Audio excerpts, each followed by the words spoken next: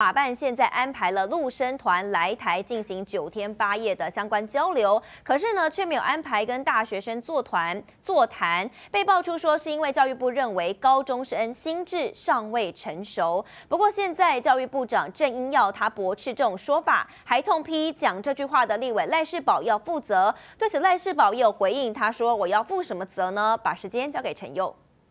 回到现场，我们这里邀请到立委赖世宝来到了现场。委员早安。啊，大家。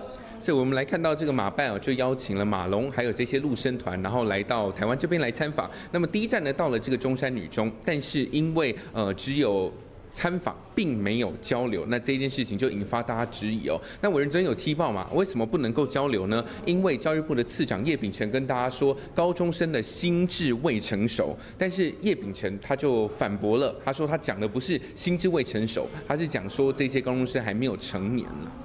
他强调的啦，这个心智强调的是说，他们后面有家长，因为他没有成年嘛，所以有家长的监督，这样子的话要对话比较复杂。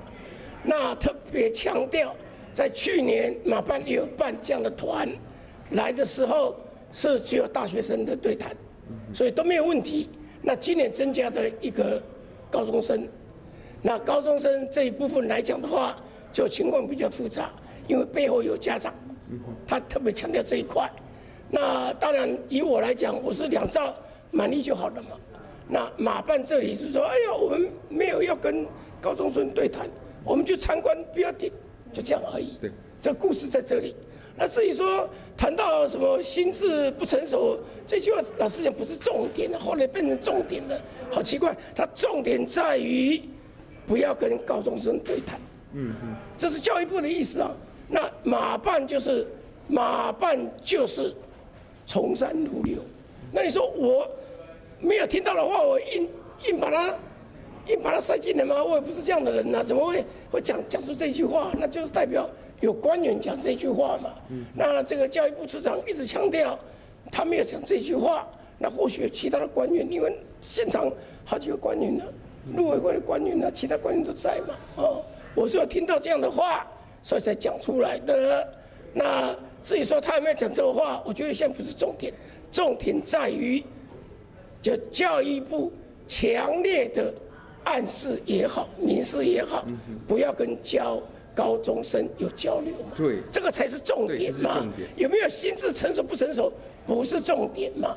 重点是他要求不要跟高中生。对谈，那马办从善如流，因为我们时间被卡得很紧，教育部他如果没放，这个团可能成不了，所以马办就是这个顺着他的意思说，我们没有交流，我们纯粹就有参观，所以重点在这个地方，不是在于说心智成熟不成熟了，他没有，我们也不认为这个叶秉成有批评。这个这个这些高中生的意思嘛，他怎么解读为说他批评高中生啊？那这句话我是有听到，嗯，我是有听到。那他说他没有讲，那可能其他官员讲，那我确实听到嘛。那这他官员是一个 team 嘛，他官员来了好几个嘛，啊，那到底现在来讲变？罗生门呢？是不是他讲的？我也不这个，因为我没有录音。如果有录音就好了，啊，就知道是不是他讲的嘛。那确实我有听到这句话，或者我也不会讲出来。对，所以反正就是在那个会上面，就有人提到心智不为成熟这一件事情。但可能现在看起来应该是叶秉成就是一再的去否认这一件事情。但他的重点是说，既然马办都没有要提出这种对谈的话，那为什么这些官员们必须要提醒一个高中生，不管是他们未成年也好，不不管。是心智未成熟也好，那到底为什么教育部要给出这样子的一个提醒？所谓的善意提醒到底是什么意思？陆委会不是都说没有国安疑虑，为什么还要有这个善意提醒？当初的陆委会的呃来的是一个处长，本来是梁永杰吧，是吧？这个梁文杰啊，那梁文杰他被询是找一个处长来，啊，所以那天的位阶最高的是教育部的次长，所以主要的话他。主要他在定调，那确实他先提出来的。他说啊，今年怎么会有高中生？嗯哼，今年怎么会有高中生？你说在上面是叶炳对，叶炳成先提出来说啊，今年怎么会有高中生？哎，去年没有，嗯哼，今年增加个高中生，好，那这里面然后这个这个这个这个来的话，因为他背后有家长，这个可能情况比较复杂，嗯所以他等于是暗示也好，明示也好，就是希望不要跟高中生有对谈嘛，嗯就这个意思嘛。所以外面的质疑就是说，啊，那现在都可以了，为什么他们不可以？对，就在这里嘛。啊，所以重点不是在于有没有讲那一句话，心智不成熟，重点在于教育部定调红线化了嘛，不要跟高中生对谈嘛，这是他的红线嘛。